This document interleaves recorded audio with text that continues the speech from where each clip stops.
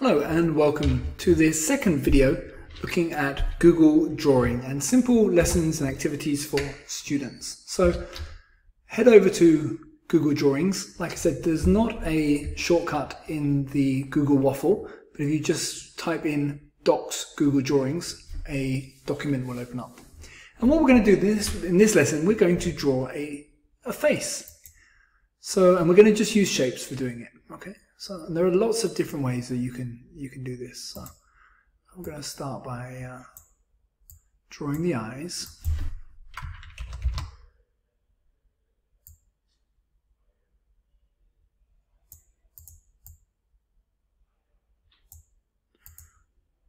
Okay, and then adding a nose.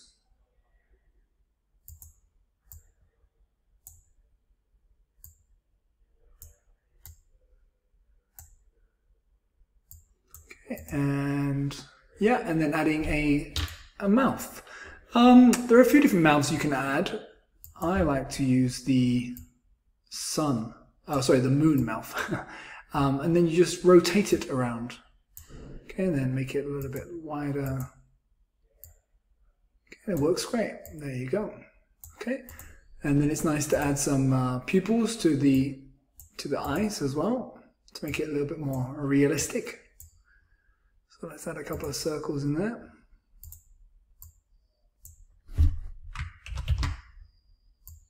Okay, fantastic. Okay, and often these drawings are nicely finished off with a hat. So let's give this guy a big hat. Actually, this is a little bit, his eye's are a bit big? Oh,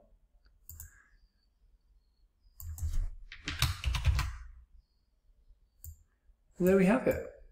A simple face. Obviously add a little bit of color and um, yeah, you're away. So very easy to do. Students uh, can create, be creative and develop this in all different ways. There are so many different shapes. There are lots of different ways of, of creating faces. And uh, a fun and easy thing to do when you finish it, make sure you write your title of the document, face, and another great thing is you can download this as a um, JPEG, a PNG, or as an F SVG as well. So you can download it in all sorts of different ways. Okay.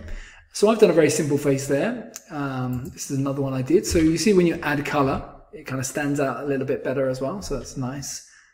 And yeah, there's another example with big ears on that one. Okay. And of course you can also do um, female faces. So there's a girl's face with um, her hair as well. And you can do side view as well.